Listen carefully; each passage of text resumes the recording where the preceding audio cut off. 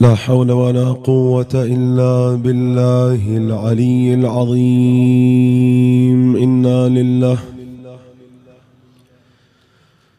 وإنا إليه راجعون. صلى الله وسلم عليك وآلك يا رسول الله. صلى الله عليك يا مولاي. يا أبا عبد الله يا رحمة الله الواسعة. ويا باب نجاة الأمة. وسراج الظلمة وأبا الأئمة يا غريب يا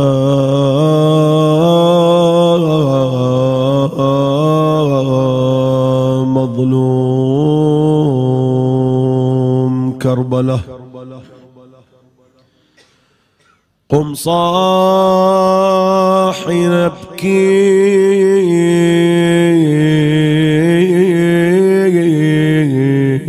مسلما دمعا وفيا إن هما.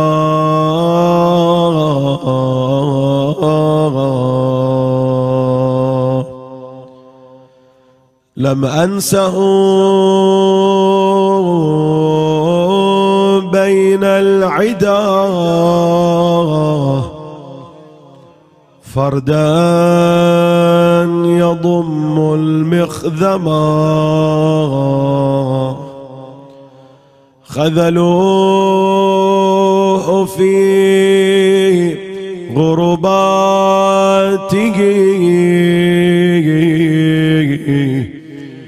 لم يلق منهم مسلما.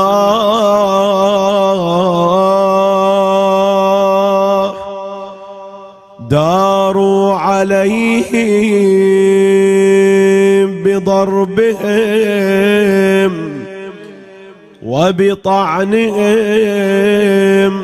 صب الدماء. والسيف فوق شفاهه. أهوى وقد قطع الفما أيها سيدا ومسلما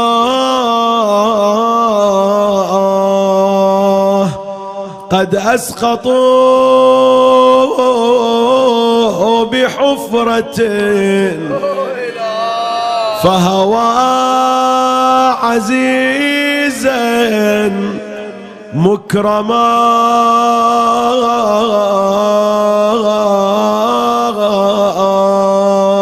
إيش سووا؟ قال والرمح عطل عينه وأصابه منه العمى. ولقد مشى بوثاقهم وعلى الحسين تألما والقلب منه معطش قتلوه لم يسقوهما لما أحس بموته والصدر يلهث بالظما رفع اليدين مقيدا نحو الحجاز وسلم. ونحى ابن بكران له. فأطاح رأسا باسما ورماه جسما هامدا متشمتا لما رمى. أيوا مسلمة وغريبة آه ويلي عليه على الثرى.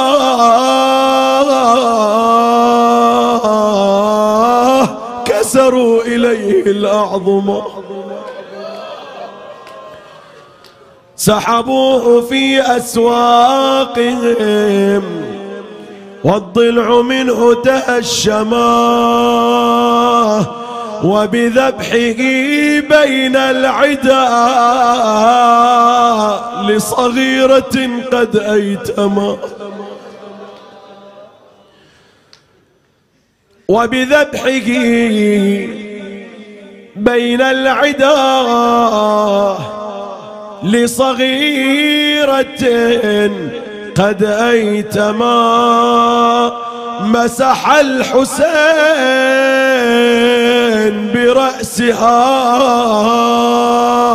لليتم صارت معلما. أحز قلب اليتيمة باليوت. مو هذه عادة أبو علي. التفتت إليه خال يا حسين.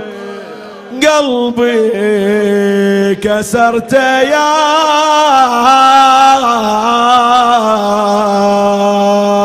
غريب الغاضري مثل اليتامى تمسح بجفك علي. تمسح على راسي. ودمع العين حما. ما عودتني بهالفعل من قبل يا خا قلبي جني يتيم الكافي الله. من هالأحوال خليت عبراتي على خدي جريه. مسحك على راسي تركت القلب ذايب. هذا يا عمي من علامات مصايب قلبي تروح حيث أبويا بسفر.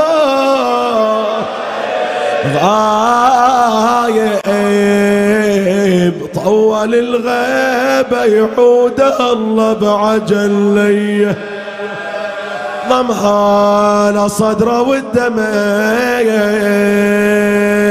يجري بالخدود وقالها يا بنتي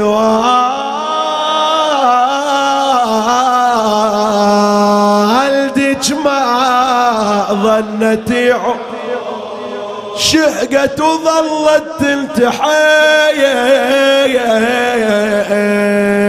وبروح حجو وصاحت يا عمي لا تفاول بالمنيه سافر عساه يعود لي بالسلامة. واقعد بحجره وينشرح صدري كلامه.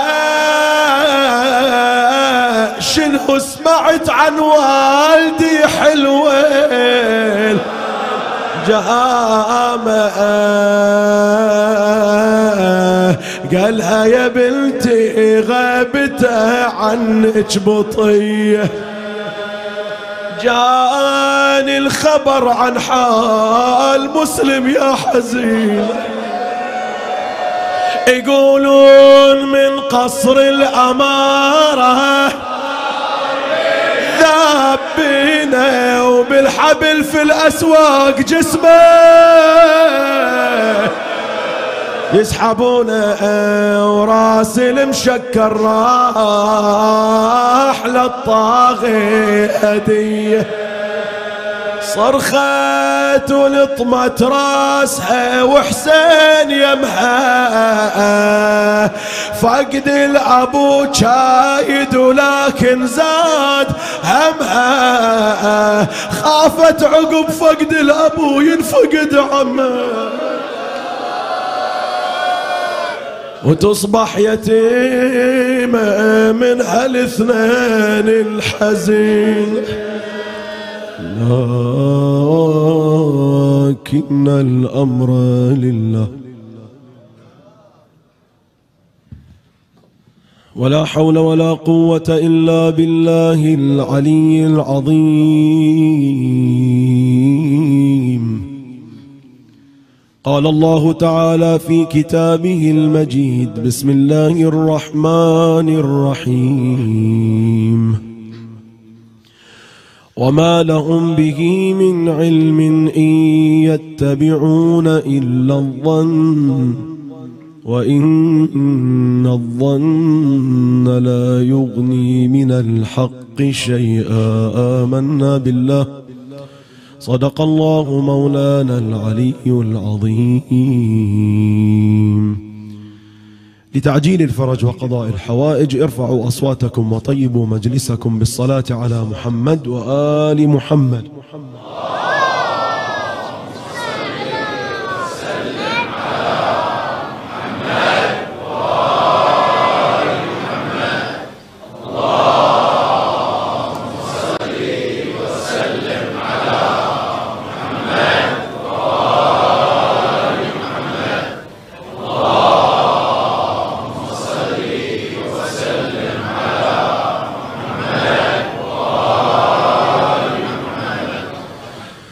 يعتقد البعض أن حالة التدين هي حالة لا تجتمع مع مواكبة متطلبات الحياة. فالتمسك بالدين يعد تخلفا لا ينسجم مع التطورات التي تعيشها المجتمعات. في حركة الحياة والعصر. وهذا ما أحب أن أقف عليه في هذه العجالة عبر ثلاث نقاط. أولا في بيان وجه الإشكال. لماذا لا يمكن الجمع بين التدين وبين المواكبة؟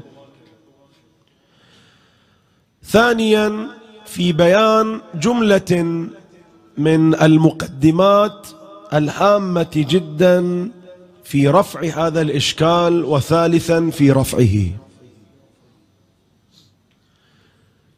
أما بالنسبة إلى النقطة الأولى فقد قالوا بأن الدين منظومة عقدية وتشريعية. ينطلق من مجموعة من الأفكار وهذه الأفكار تكون منسجمة مع بعضها البعض وحتى تشكل عقيدة فإنها ينبغي أن تكون ثابتة لا تتبدل. ومن جهة أخرى مو فقط أنها لا تتبدل بل إنها تتدخل في حياة الإنسان من حيث ترتيب أفكاره في كل التفاصيل والدقائق حتى تظهر في نهايات القرارات ونتائج السلوكيات والأعمال. وحتى نبسطها يقول طالع مثلا الآن الواحد لو بيسوي أي شيء بيتخذ أي قرار في حياته إذا كان متدينا ويعتقد بوجود الله تعالى والجنة والنار قبل أن يقدم على أي شيء أول شيء يتساءل هذا يوديني الجنة لو يوديني إلى النار. إذا العقيدة لها انعكاسات حتى آخر النفس في جميع تفاصيل حياة المتدين إذا كان يريد أن يلتزم بهذه العقيدة. أما ينتمي إليها ويتخبط في تطبيق مقتضياتها هذا أمر آخر. إحنا نتكلم عن حالة التدين.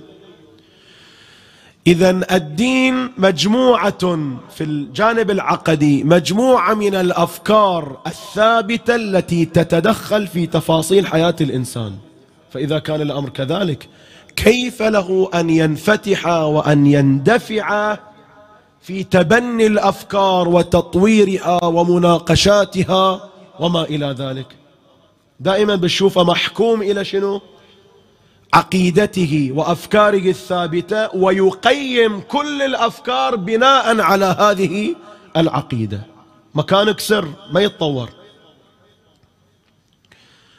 أما بالنسبة إلى الانعكاس التشريعي إلى العقيدة أولا باعتبار أن التشريع الديني هو انعكاس إلى الجانب العقدي. فيرد عليه ما يرد عليه. إحنا تونا الآن قلنا أن العقيدة ثابتة وتتدخل في كل التفاصيل. فلا تنسجم مع حالة الحركة العلمية والتطور ومواكبة متطلبات العصر. كذلك التشريع ليش؟ لأن التشريع يأتي بمقاس العقيدة. فلا يحتمل التبدل في نفسه خصوصا في شريعة كشريعة الإسلام. زين ثانيا نفس هذا التشريع جاء وهو يلحظ مجموعة من الظروف الخاصة في زمان معين وجاء لتلك الظروف بعلاجات حيوية ونشطة كانت ناجعة في تلك الفترة لأنها تتناسب مع القالب الذي نزلت فيه فتقولبت بمقاسه. بيئة معينة موجودة قبل 1400 سنة لاقت ما شاء الله من المشاكل وتطورات الحياة وأوجدت قفزة نوعية صحيح؟ ولكن يبقى أنه قد أكل الدهر وشرب على تلك الظروف قبل 1400 سنة.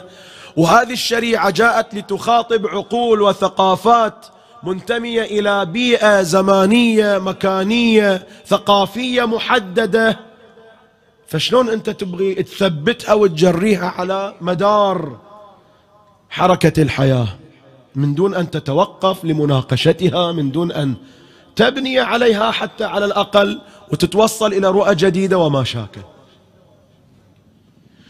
إذا الإشكال في جانب عقائدي وجانب تشريعي ومنه خرجوا بهذه الرؤية فقالوا حتى نعطيك منبه وجداني.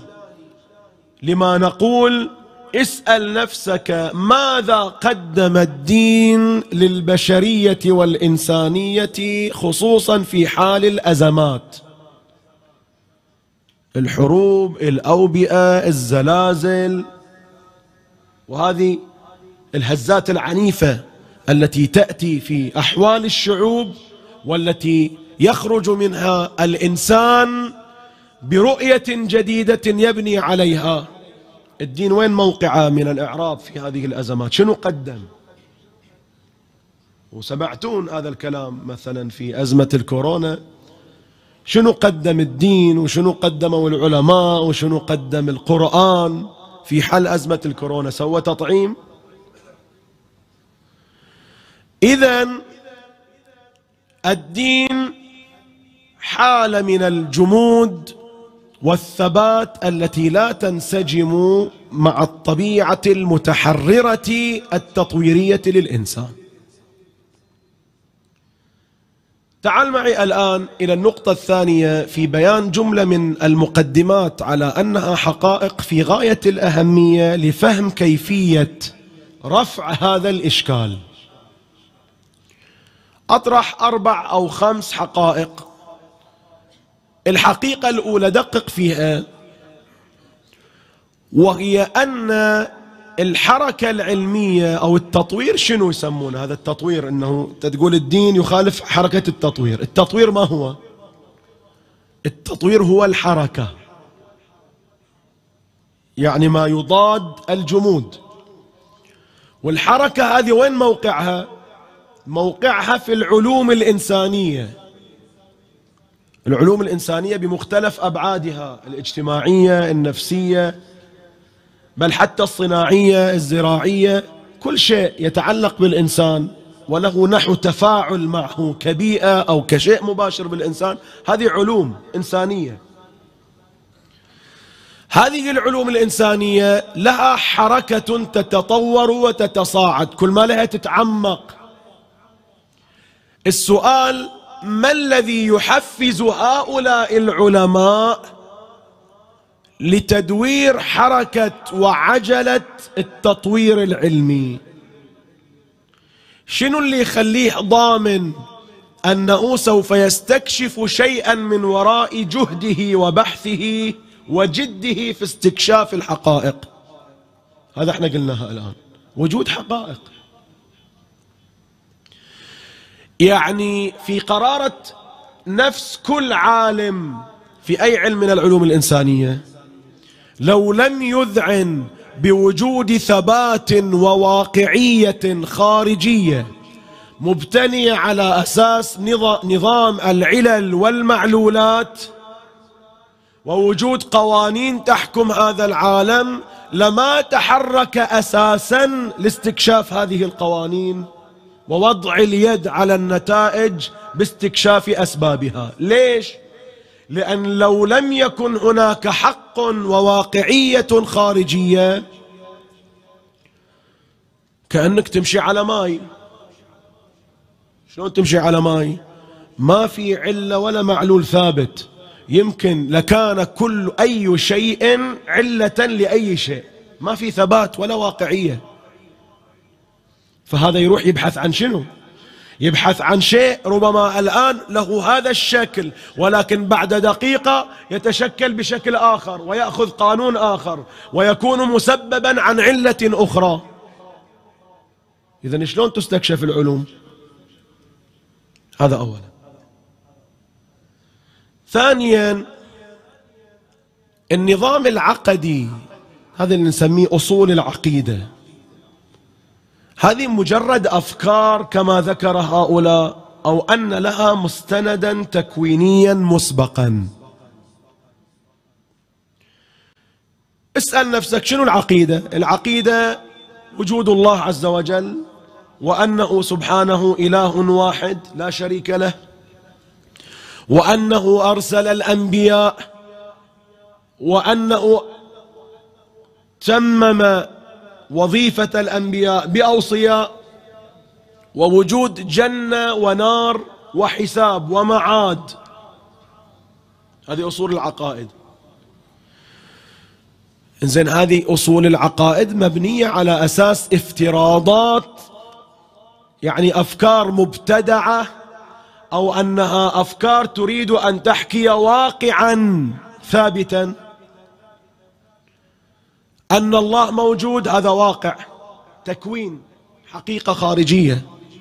أن الله واحد كذلك. أن هذا نبي هذا إمام كذلك. وأنه متصل بالله تكوينا بالوحي كذلك.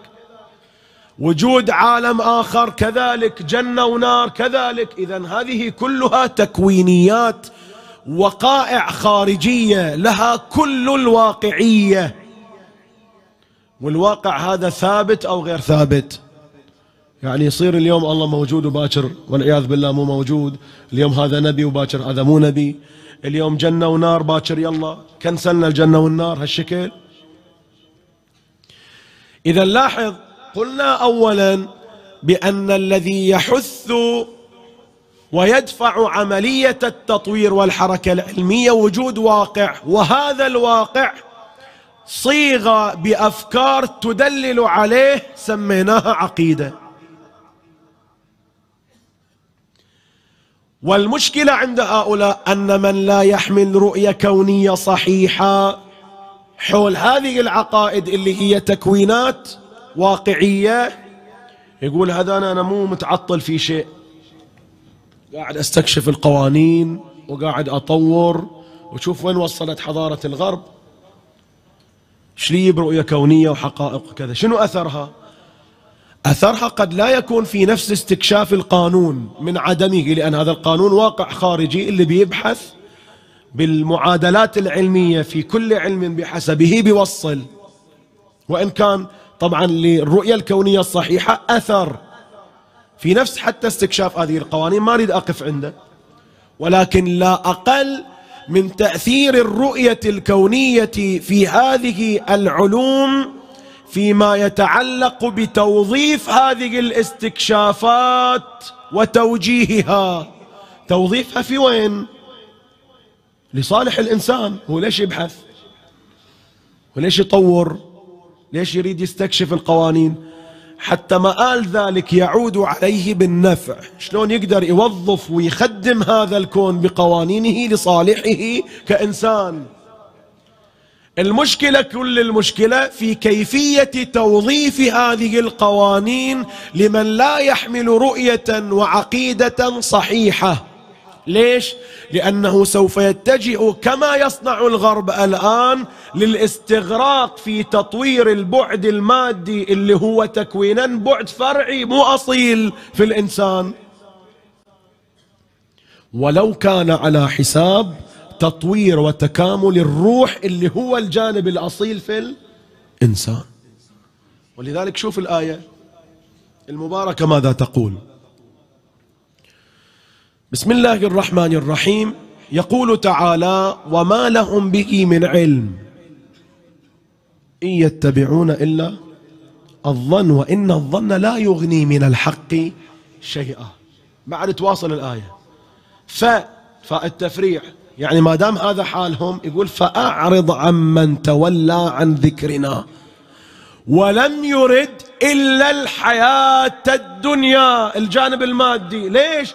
قال ذلك مبلغهم من العلم. هذا حد تفكيره. عبالة الوجود كله والعوالم كلها مختزلة في هذه المادة وتعال استغرق في استكشاف قوانينها لحساب رفاهية الجانب المادي. ولو كان على حساب قوانين العوالم الأخرى اللي تعبر عن التكوينيات الحقيقية اللي منها أن الجانب الأصيل في الإنسان هو روحه. لا مادته. شايف شلون الأثر؟ ثلاثة إذا بجي تحلل عملية التطوير والحركة العلمية كيف تكون هذه الحركة؟ هل بابتداع الأوهام؟ يعني الآن واحد يقول أنا مجدد وصلت إلى شيء ما وصل إليه غيري. ولي فضل السبق. في ويش؟ قال مثلا في مسألة إنسانية في علم الاجتماع في علم الطبيعة في علم الطب في أي علم من العلوم. وإذا عرض رأيه على علماء ذلك العلم المتخصصون يشوفونه يهرج. مثل ما يهرجون الآن هذين اللي يقولون في والله جين مسؤول عن الشذوذ. ويلا صفقوا إلى هذه المسألة وكذا وسووها بالإعلام بالأموال صارت كأنها واقع.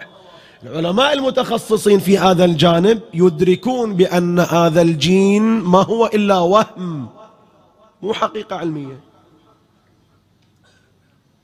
لكن الأموال تعمل عمايلها له. في أي علم إذا بيجي واحد يقول أنا مستكشف مجدد وصلت إلى ما لم يصل إليه غيري؟ متى يكون لكلامه قيمة أقول مجددين موجودين في شتى العلوم. إلى الآن يؤرخ إليهم. ليش؟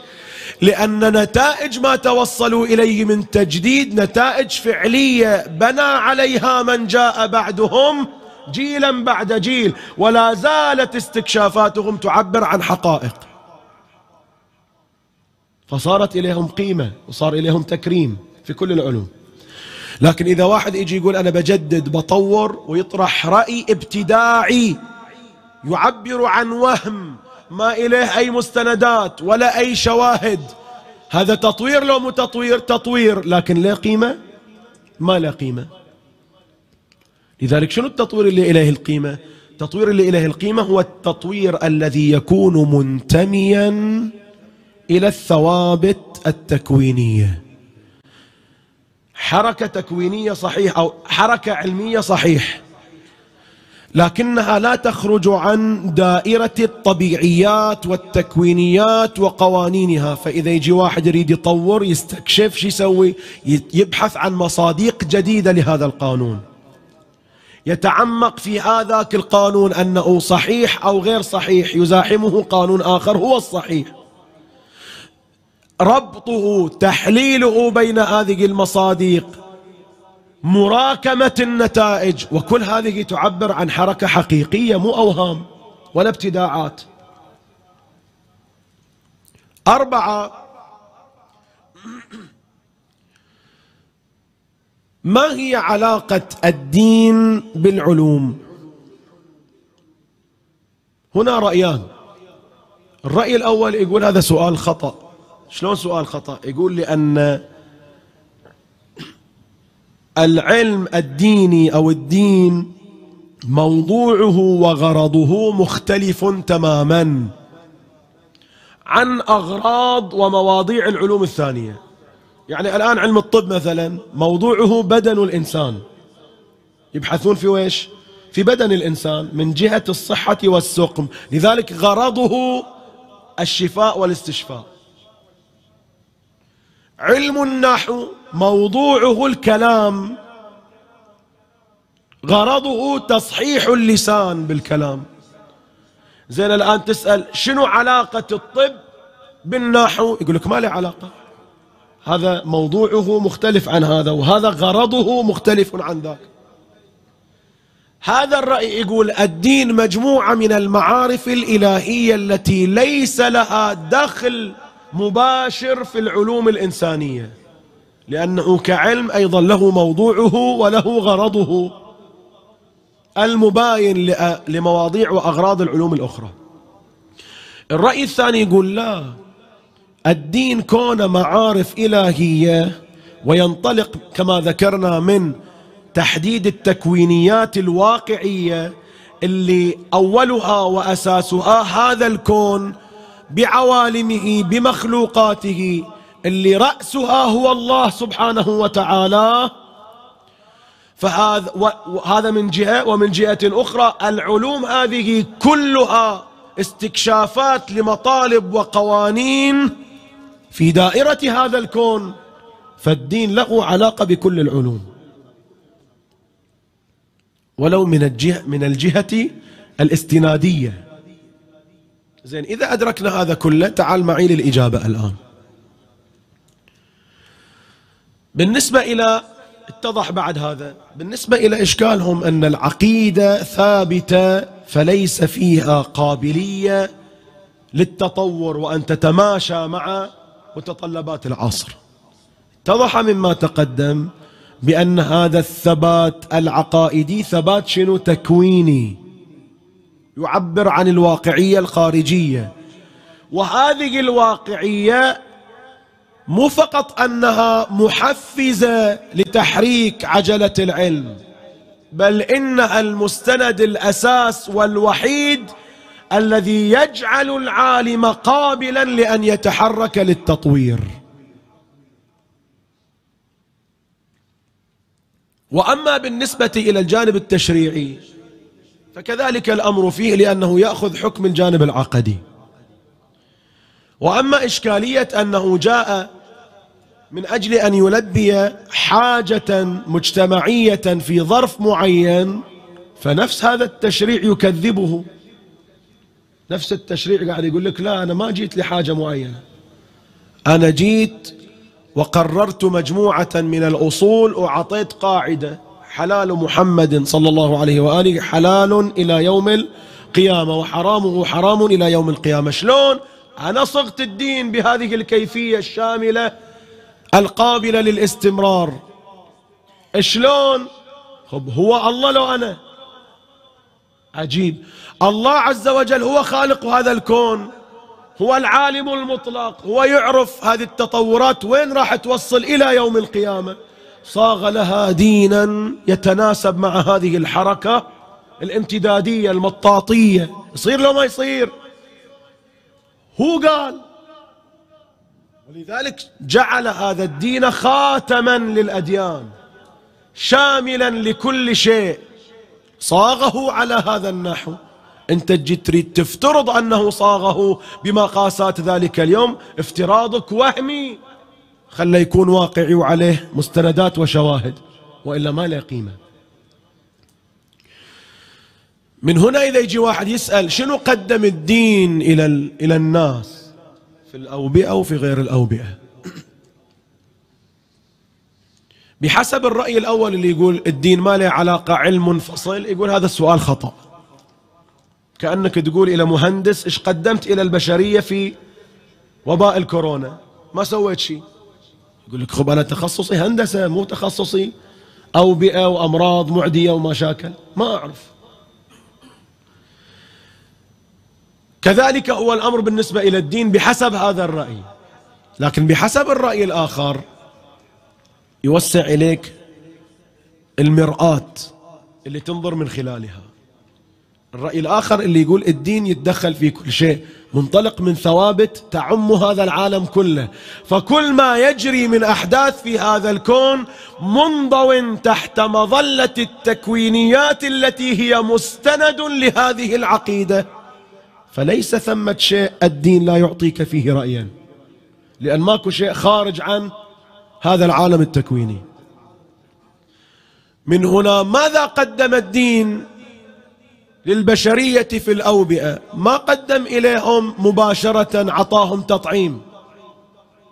لأن هذا مو شأن الدين ولكن شأنه أن يحث الناس بالترغيب الدنيوي والأخروي بالثواب بل بالإيجاب الشرعي على نحو الكفاية أن المتخصصين يجب عليهم أن يسوون هذا اللقاح وهذا التطعيم. من منطلق ديني. واحد يقول ما نحتاج لهذا المنطلق لأن أكو سووه وهم مو دينيين. أقول لا نحتاج إليه من أي جهة؟ من جهة من جهة توسعة مدار الرؤية إلى هذا الأمر وإلى غيره. يعني شنو؟ يعني إذا واحد يجي بمقاسات دنيوية فقط بيقول أنا ما أحتاج إلى الدين ولكن الدين هنا يضيف إليك أن هذا العمل واجب عليه ثواب تركه فيه عقاب. إذا جاي يرشد العملية مو فقط من منظار دنيوي من منظار أخروي أيضا. إذن أنت فقط في الدنيا لو في الآخرة تريد تضبط وضعك أيضا. إذا تحتاج إلى الدين لو لا؟ إنزين في جانب آخر أيضا ماذا قدم؟ قدم الدين أخلاقيات. حرمت أن تستولي الدول على الكمامات والتطعيمات سرقة. حرمت أن تحول الناس إلى تجارب ليس إلى شيء إلا لفقرها أو لحاجتها الملحة. حرم الدين مثلا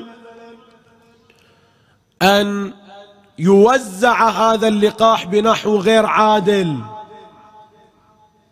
حرم الدين وحرم الدين ورشد ودعا إلى التطوع ودعا إلى رفع هذا البلاء عن البشرية. الدين تدخل ما أعطى لقاح ولكنه رشد إعطاء اللقاح. بنظرة تشمل ترشيد الجانب الأخروي الذي هو الأصل.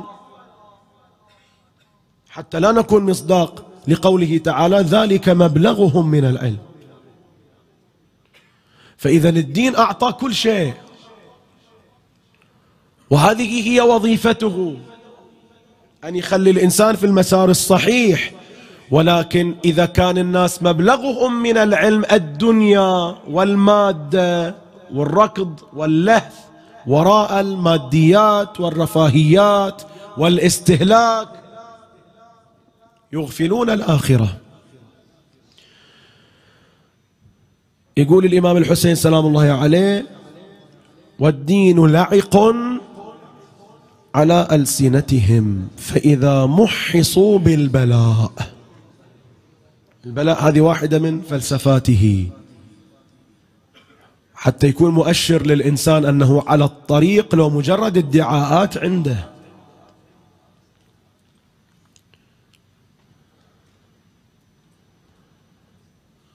أخوان. صلوا على محمد وآل محمد.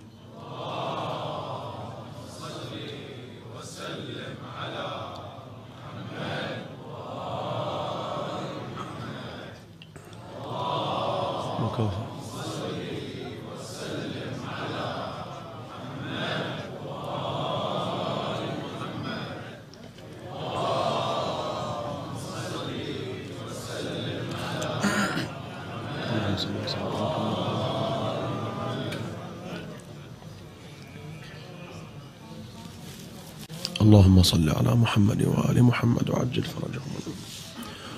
وارحم بحالنا يا الله. خذوية هوا أخوان خذوية هوا هني شوية النفس ضيق صاير.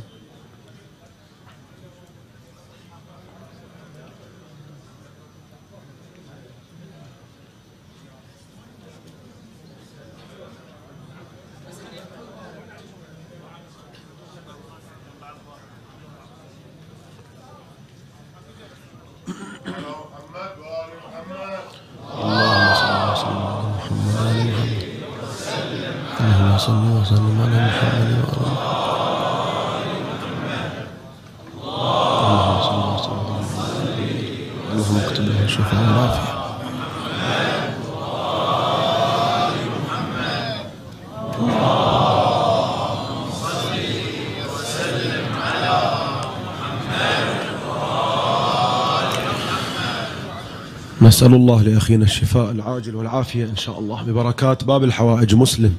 سلام الله عليه. إذا قال الإمام الحسين عليه السلام والدين لعق على ألسنتهم فإذا محصوا بالبلاء قل الديانون.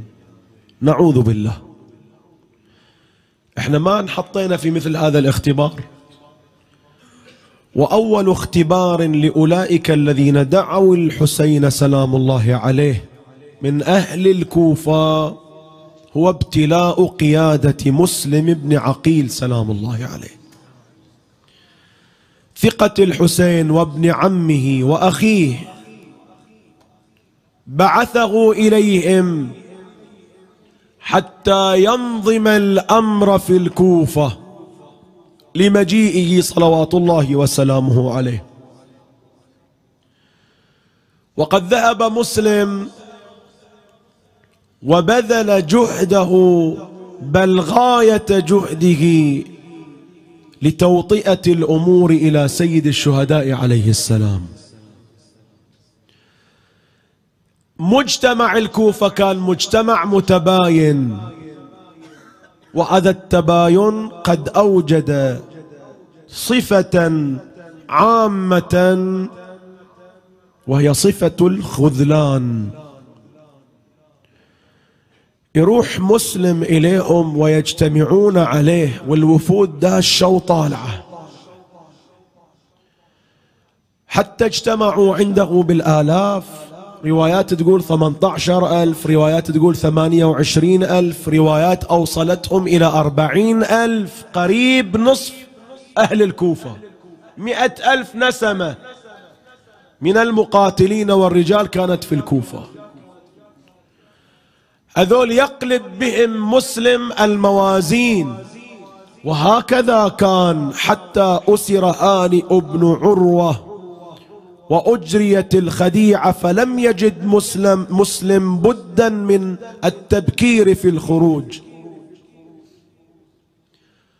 فنودي بندائه وبشعاره واجتمعت عليه الناس واختلفوا في نصرته ابتداء من هذه النقطة. وإلا هذا مرسول الحسين. طاعته طاعة أبي عبد الله. صور نفسك في هذا الابتلاء. عدد من وجهاء الشيعة في ذلك الوقت لم يخرجوا مع مسلم وخالفوه فوقع الخذلان الكبير ابتداء من بعض النخب. اتجه مسلم إلى جامع الكوفة. صلى بالناس ومعه جموع ولكنه ما انفتل من صلاته إلا بثلاثين شخصا. آلاف كانت تحيط به. آلاف يعني كان سيدا قائدا. انفتل من صلاته شاف خلفه وإذا بثلاثين نفس. يمكن في الخارج خرج ماكو أحد. صار يمشي معهم نحو أبواب كنده وإذا بهم يتناقصون عنه واحدا بعد الآخر. هكذا إلى أن تجاوز أبواب كندة وإذا بمسلم يرى نفسه وحيدا فريدا بلا ناصر ولا معين. كما كان الحسين في كربلاء. ومن خصائص مسلم أنه أراد أن يواسي تكوينا مصاب الحسين سلام الله عليه. في كل تفاصيله مهما أمكن. ولذلك إذا بتقارن بين المصيبتين تشوف أن الحسين عليه السلام قد قتل عطشانا فكذلك قتل مسلم عطشانا. تشوف أن أن الحسين عليه السلام كان غريبا في كربلاء. فأسألك عن غربة مسلم في الكوفة. الحسين عليه السلام قتل بأن ضرب منحره الشريف فذبح ذبحا. وكذلك مسلم.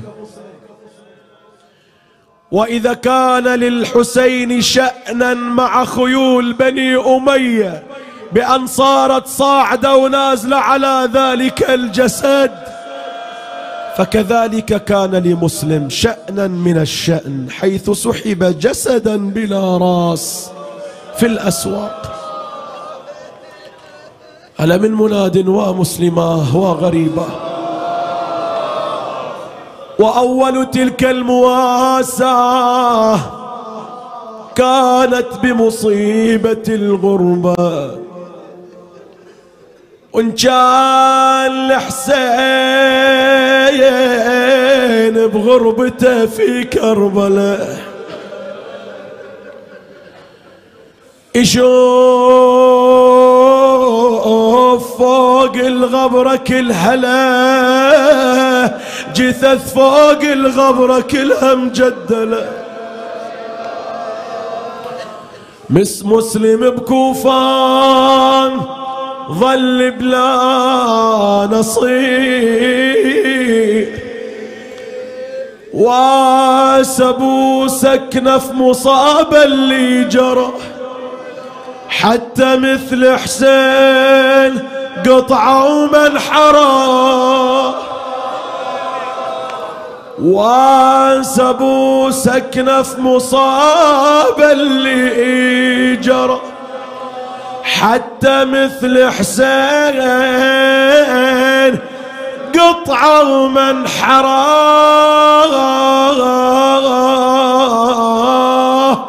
وصار مثل حسين ضلوعه مكسرة.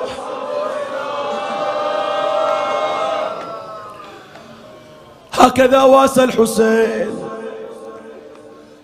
ومثل بو سكنة مثل قبل الموت ما ضاق الزلال. لكن أسأل يا المحب هذا السؤال. أحد داسه وقت ذبحه بالنعال.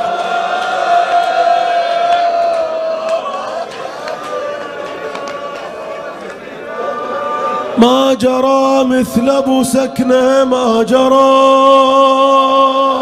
ما في مثل أبو علي.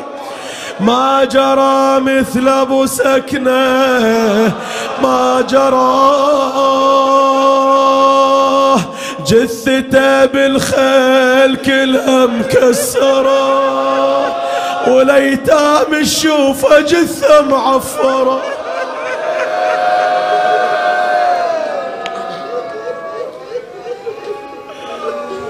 لكن هنيئا لمسلم الذي حظي بهذه النصرة وبهذه المواساة.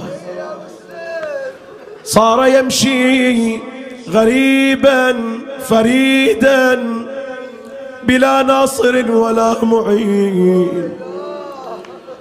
يكمن في النهار ويبرز في الليل على هالحال أيام أسألك ما حاله جائع عطشان.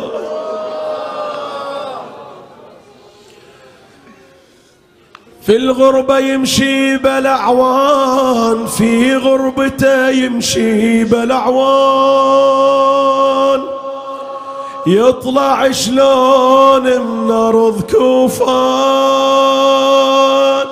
يوصل إمام الإنس والجان يوصل إمام الإنس والجان واقف يدير أفكار تعبان. من غربته تغبن وهاجت بيه الأحزان لا كان يموت حسين لا كان. ومن شدة الهم يا بس للسان.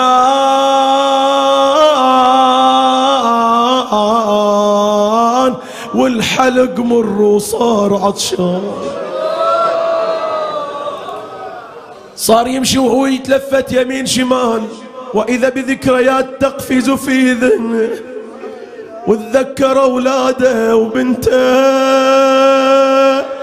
والشوق له القلب فته. حياها الأزهر يوم عفته. محياها الأزهر يوم عفته. مكسور من فرقاي شفته. الله يساعدها. ويش حال بنيتي الآن؟ ويش حال أولادي؟ عندكم أولاد صغار لولا؟ تسافرون عنهم شوية لولا؟ إذا ترجعون ويش تشوفون أحوالهم؟ هذا مسلم ظل يتفكر شوية في حميدة.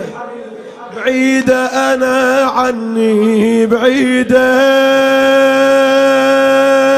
وبعيد عن اللي أريده. الله يساعده وحيده. وفقد الأب مصيبة مجيدة. ويلي على بنيتي حميدة.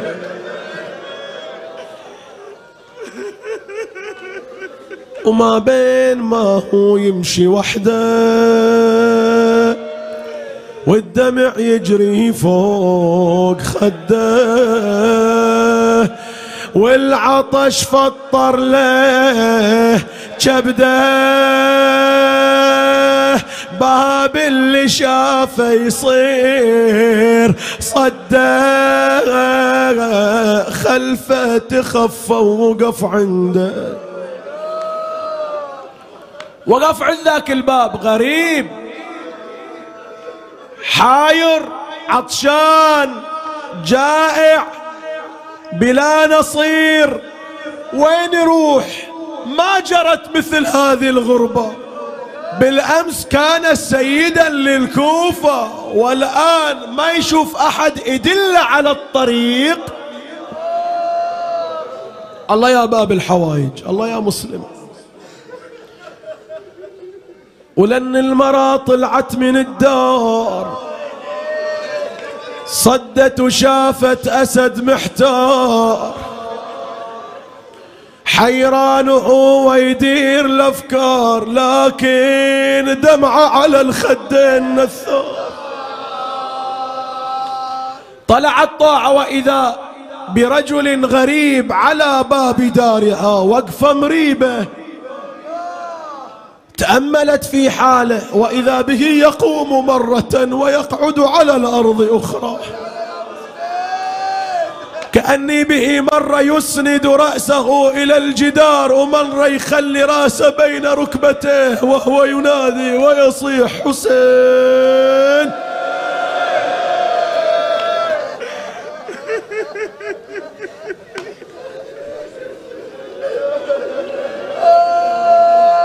ومن قلب أرتاب واحتار. ما تدري عنه وقف مضطر. صاحت يا هذا دقصر الشار عن بابي وخر كان تقدر تحرك وعن بابي تيسر تحكي ولا حتى نظرها ويا احتارت في امرها هالوقفة ما أدري إيش خبرها. صرخت وصرختها تجرها. للبيوت حرمتها وخطرها. مو عيب مو عيب ما تعرف قدرها. ومن وقفتك تكشف سترها.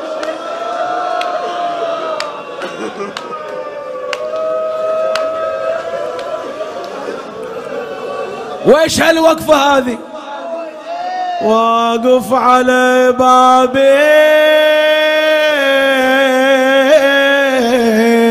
ودمع العين سايل. سائل من السؤال. لا عندك رسائل شافتك والله من الذي كان وسايق. جنك غريب بهالمدينة ومالك أصحى قالها غريب وغربتي دون الغرايب كم من غريب تغربوا حصل حبا. بس أنا بهالديرة بقيت بلا قرايب والبايعوني داسوا البيعة بالتراب وطاعة اش حاجتك من وقفتك. هاي قالها وهو مغبون يخفي الصوت بهداي. عطشان أنا بلدي طلع لي شوي ما.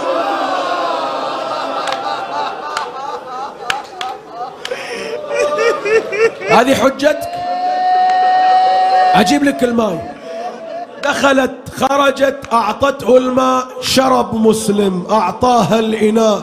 دخلت طلعت وإذا به في مكانه. ها يا عبد الله شربت الماء لو لا قال بلى وطأطأ برأسه مستحي. قالت ليه شربت الماء؟ يلا تحرك سبحان الله. فإنه لا يصلح لك الوقوف على باب داري ولا أحله لك. قالت شربت الماء. لا توقف على عيب على مثلك وقفتك. ببيوت جنك جليل وشوفتك يا شغم.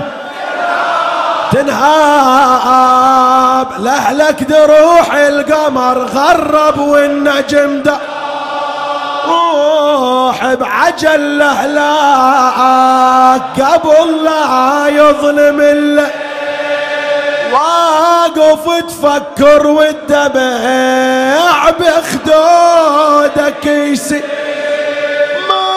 عندك بهالبلد عزوة ولا قالها غريب ولا أهل عندي ولا د... روح روح لا توقف. روح شوف رجال مع رجال أني حرمة وامرأة شلون توقف على باب داري؟ أقسم عليك بمهابة حيدرة. تعرف علي بن أبي طالب لو لا؟ أحلفك بعلي بن أبي طالب. أقسم عليك بمهابة حيدر عوف باب ارجع يا هذا على ورا. ما هي عدلة وما جرت عادة ترى. غرب تاد غرب تكشف دور مو نسوان عيب عيب عيب عيب. عيب مو وياي يا هذا أقسم عليك بلو تعد ولي. هذا أميرك لولا وليك لولا. قال يا حرمة أنا عمي علي.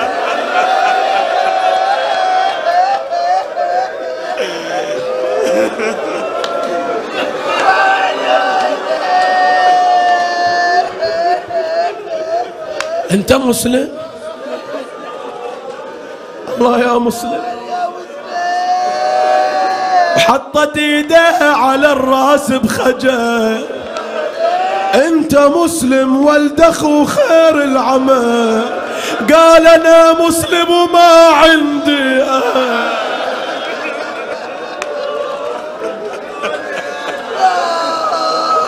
أمة الله هل لك أن تقدمي إلي معروفا في هذه الليلة؟ ولعلي مكافئك ومجازيك بعد هذا اليوم. ما تريد؟ قال ضيفيني عندك هذه الليلة وأطلع من الصبح ما مطول عندك. أنا أعرف مصيري إلى وين. ضيفيني بس هالليلة عندك. والصبح بطلع له والدش. حياك قالت بالعجل دش. وصاحت يا طوعة من قديش ما حد حظى قبلش وبعدش. يوم القيامة ما يدش. أضافته عندها. بقي مسلم في تلك الليلة. قائما قاعدا راكعا ساجدا تاليا للقرآن مناجيا لله تعالى. فلما أن لاح الفجر جاءت إليه طوعا تقول له سيدي ما رأيتك رقدت البارحة قال لقد رقدت هنيئة فرأيت عمي أمير المؤمنين يقول مسلم إنا مشتاقون إليك العجل العجل الوحى الوحى. وما تأويلها سيدي؟ قال وما أظنه إلا آخر أيامي من الدنيا. بينما هو على هذا الحال. وإذا بصوت الخيول واصطكاك الأسنة ونداءات الرجال اخرج يا مسلم. حينها تهيأ مسلم إلى القتال لبس لأمة حربه عض على نواجذه قبض مقبض سيفه. وإذا بالحرمة تناديه إلى إيه؟ ناديته يا سيدي.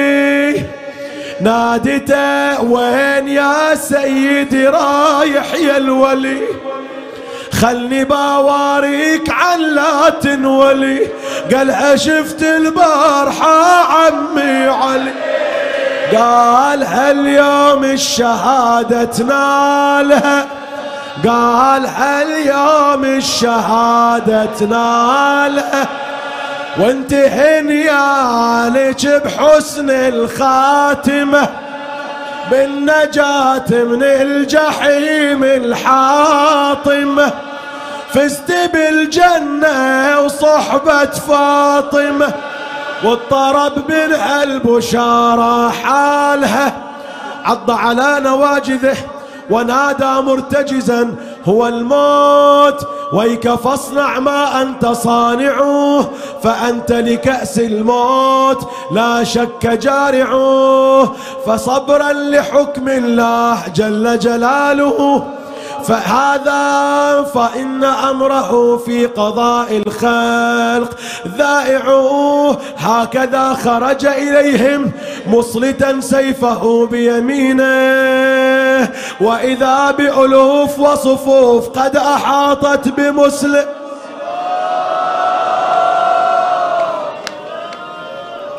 دارت عليه الناس والحالة شديدة. من زود ما يضرب بسيفة جلت إيده. وتيقن بموته وذكر بنته حميده. تمنى يودعها ويحضنها بليده. أنا من مناد وغريبة. فلما رأى عزمهم على قتله فدافع عن نفسه فصار يصول ويجول يضرب يمنة ويسرى. حتى نكس الرايات وجزر الأبطال حتى قتل منهم أكثر من أربعين رجلا. فلما رأوا شدة بأسه نادوا يا مسلم لا تقتل نفسك الأمان الأمان. وإذا به يشد فيهم كالليث الغضبان لا أمان لكم أقسمت لا أقتل إلا حرة. وإن رأيت الموت شيئا نكرة. أخاف أن أخدع أو أغرة. فلما رأوا منه ذلك أرسل ابن الأشعث إلى ابن زياد أن مدنا بالخيل والرجال. فبعث إليه ثكلتك الثواكل بعثناك إلى رجل واحد فثلم فيكم هذه الثلمة العظيمة. فكيف لو أرسلناك إلى من هو أشد منه بأسا؟ قال أيها الأمير أتظن أنك أرسلتني إلى بقال من بقال؟ الكوفة أو جرم قاني من جرامقة الحيرة. أما والله لقد أرسلتني إلى أسد ضرغام وسيف حسام في كف بطل همام. عند ذلك تكاثرت عليه العساكر والصفوف من كل جانب. ألا من مناد وغريبه أنا من صارخ ومسلمة ولكن ما هان عزمه صار يضرب يمنة ويسرة فأشرفوا عليه من سطوح المنازل. صاروا يرمونه بالحجارة يشعلون النار بالقصب ويرمونها عليه وهو يقول ما لكم ترمونني بالحجارة والنار؟ وكأنني من القوم الكفار ناس على راسه يرمون الحجارة والقصب الطيار. وهو تشتعل ناره كثرة جروحه والدماء تجري بغزارة. ومن العطش ما يشوف من عمية العين ومسلماه فلما رأوا شدة بأسه عمدوا إلى الحيلة فاحتفروا إليه حفيرا بينما هو يقاتل. انكشفوا من بين يديه وإذا به يقع على وجهه فلما وقع جاء له لعين حز رمحه وأركزه في ظهره. كأني بمسلم ينادي حسين.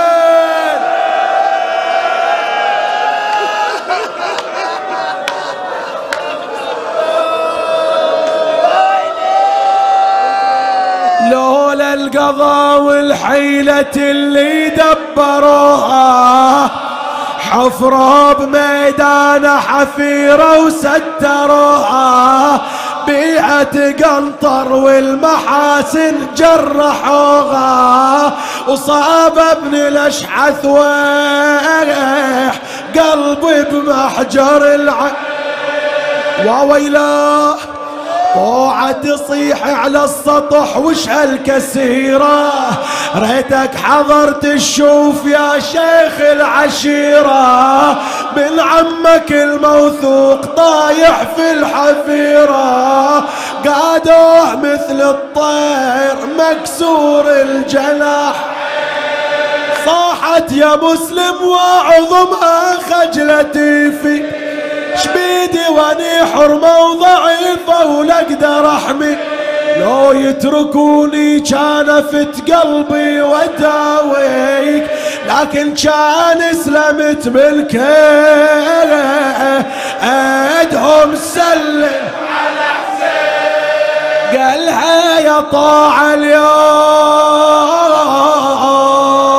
ما تحصل.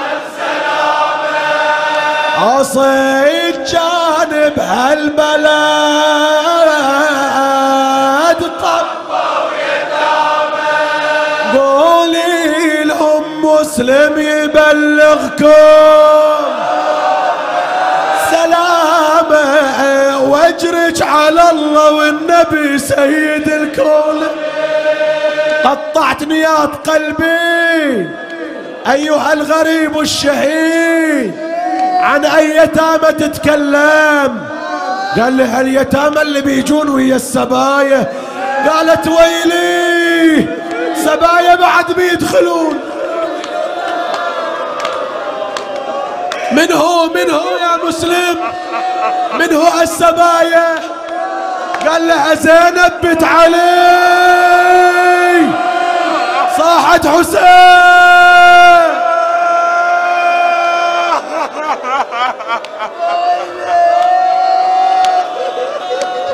تجيكم يا طوع مخدرت حدر علىكم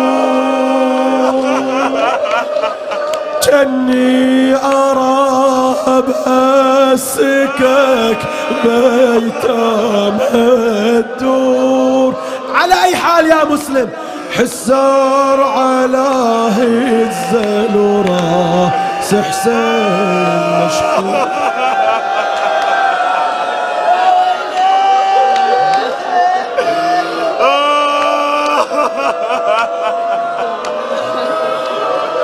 اوعى بعطيش وصية.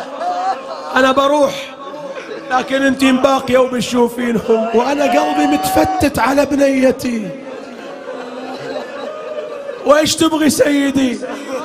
قال ما قال اسمعي مني الوصية يا سعيدة. سلمي على بنيتي اللي عني بعيدة. وعنها اسألي زينب ترى اسمها حميد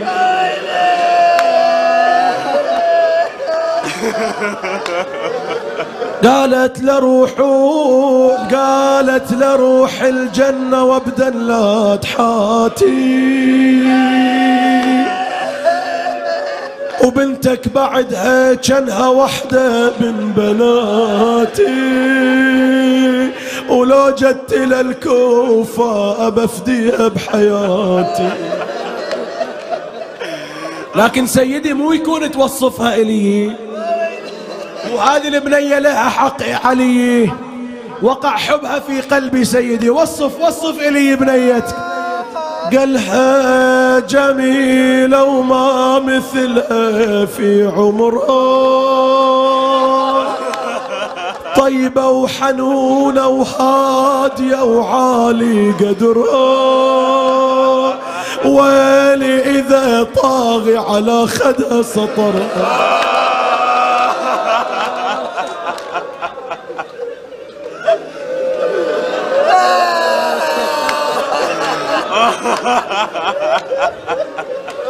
آه. عادتها تمشي مبرقعة وتخفض نظرها وخوفي أنا تنسبي وينهتك سترها ويلي إذا ملعون في حبل يجرها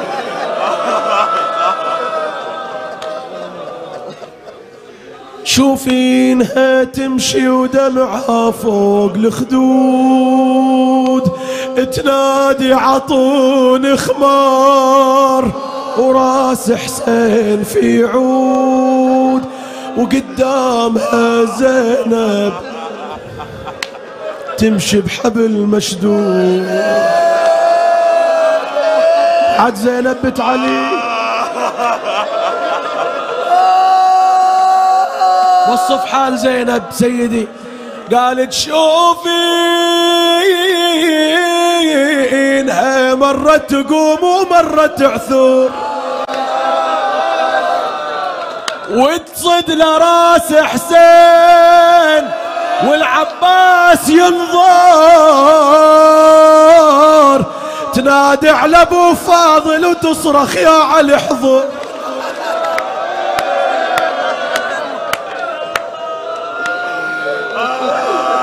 والصوت يا طوعي تلوى فوق المتون ويلي ويلي على زينب. والصوت يا طاعي تلوى فوق المتون وكل ما نزل فوق الظهر تحترق العيون. تنادي يا الأكبر يا أبو فاضل ما تشوفون.